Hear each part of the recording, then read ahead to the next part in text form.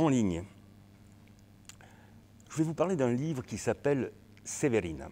Severina de l'auteur Rodrigo Rosa, qui est un auteur guatémaltèque et qui a presque toujours écrit sur le Guatemala, mais là, il n'écrit pas sur le Guatemala. J'ai eu l'occasion de le rencontrer ici, au Festival de cinéma de Biarritz, il y a quelques années, 3-4 ans, je ne sais plus.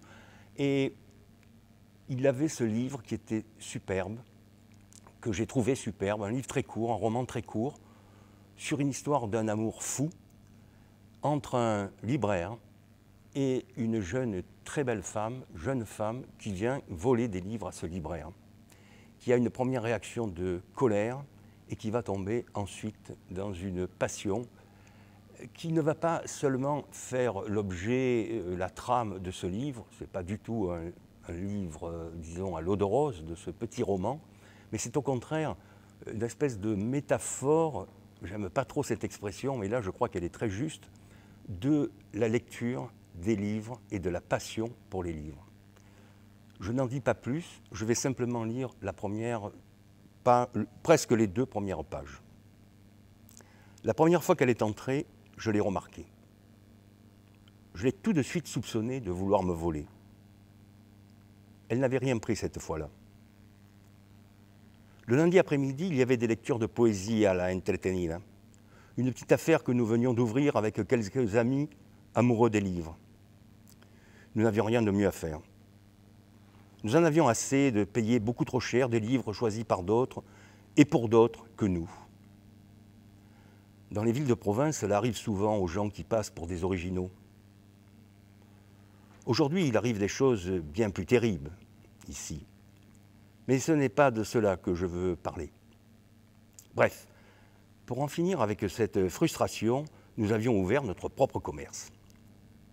Je venais de rompre avec une femme, j'avais cru que ce serait, qu'elle serait la femme de ma vie, une Colombienne, une histoire simple et impossible à la fois du temps perdu ou une belle aventure selon la vision que l'on aura des choses. La librairie n'était pas très grande, mais il y avait assez d'espace au fond du local.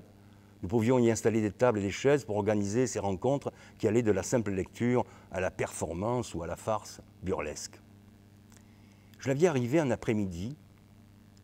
Un orage venait d'inonder les allées au sous-sol du petit centre commercial où nous nous trouvions. Pour aller d'un magasin à l'autre, il fallait circuler sur des planches posées sur des parpaings et des briques. Elle portait des tailles, des bottes sans talons et un chemisier blanc en coton. Elle avait des cheveux, très noirs. Je lui avais donné une trentaine d'années. Elle était partie à la fin d'une lecture de poèmes en prose qui m'avait bien plu. Je sus qu'elle reviendrait. Je l'attendis plusieurs après-midi de suite. Je ne comprenais pas pourquoi. J'étais sûr qu'elle reviendrait. Je ne pouvais pas me l'expliquer.